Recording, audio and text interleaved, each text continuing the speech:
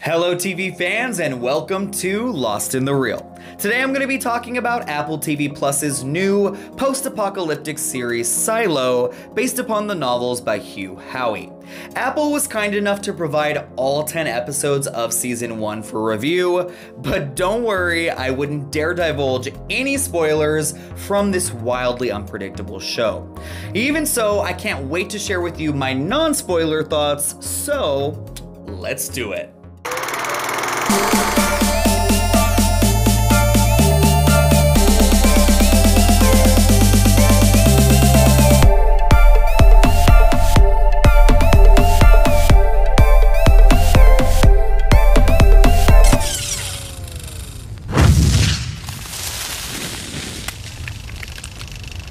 Silo is the story of the last 10,000 people on Earth their mile deep home protecting them from the toxic and deadly world outside.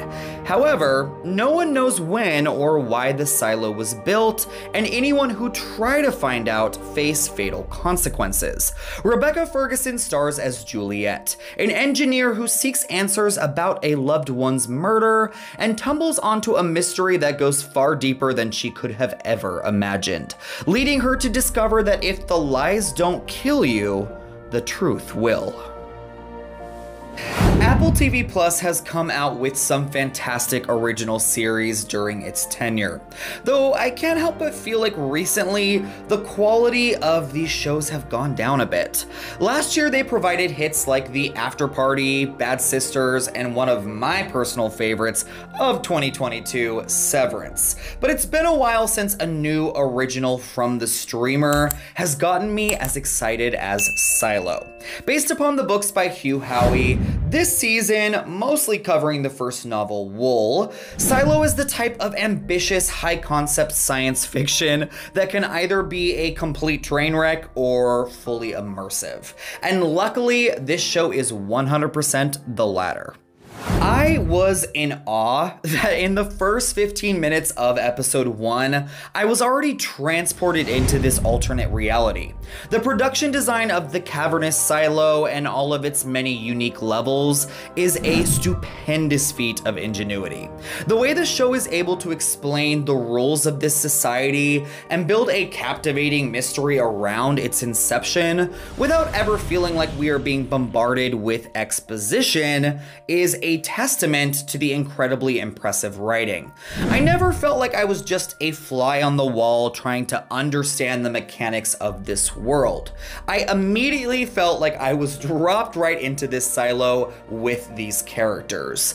And that is world building at its finest. It wasn't until episode 3, though, that I knew I was watching a show that was operating on a whole different level. In that one hour installment, I felt like my heart stopped beating. It was an exercise of building tension that is rarely seen on television nowadays. The way the writers are able to explain in layman's terms how certain things operate in this world and then throw the audience into this edge of your seat display of action, honestly, it it took my breath away. There are so many layers to Silo, though, that make it must watch appointment viewing. And the biggest thing that kept me binging through the entire season is the fascinating abundance of mysteries at play here.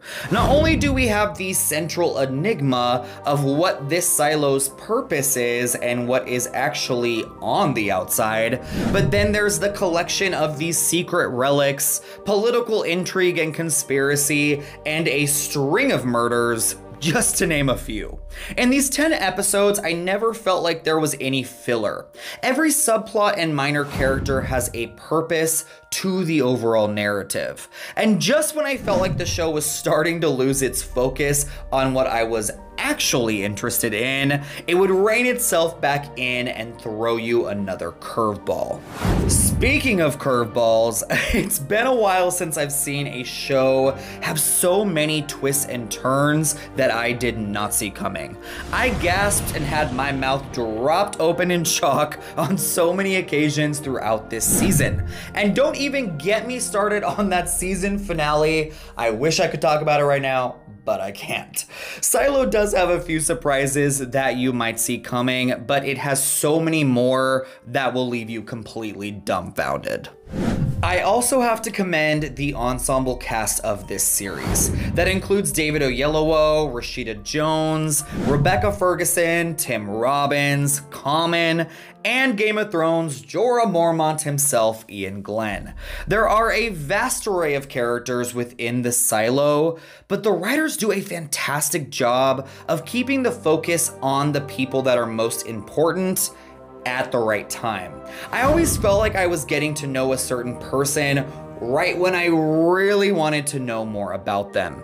And the way that all of these characters, even the villains, are given a proper backstory and perspective into their purpose truly made me care about everything that was happening up on the screen. As with all things, there are some negatives that I have to bring up. First, I loved Rebecca Ferguson in this show, and you can feel the passion she has for this project as star and executive producer, but her accent was a little all over the place here. I almost wish she was allowed to speak in her normal dialect because it was distracting at times. The other thing I have to point out is that if you are one of those people that can't get past plot holes and contrivances, Silo might not be for you. There were many things that furthered the story along that didn't make much sense or felt a little too convenient, but in this type of genre, I always feel a little more generous in allowing myself to let those things go. 2023 has only had a few shows that have really captivated me so far, those being HBO's The Last of Us and Netflix's Beef. And I am really happy to be adding Apple TV Plus's Silo to that list. This is a series that had me hooked from the very beginning until the very end of episode 10. It sports a cast of intriguing characters, is rich in its world building and storytelling, it's filled with mysteries that will keep you guessing, and provides allegorical and philosophical themes that will keep your mind racing. Now, we just need to make sure that Apple renews Silo for a second season because this is a story that deserves to see its proper end. Thank you so much for watching Lost in the Reel. What are your thoughts on Silo? Have you read the books by Hugh Howey? And what other novels would you like to see translated to the small screen? Sound off in the comment section down below. And until next time, my friends, take care.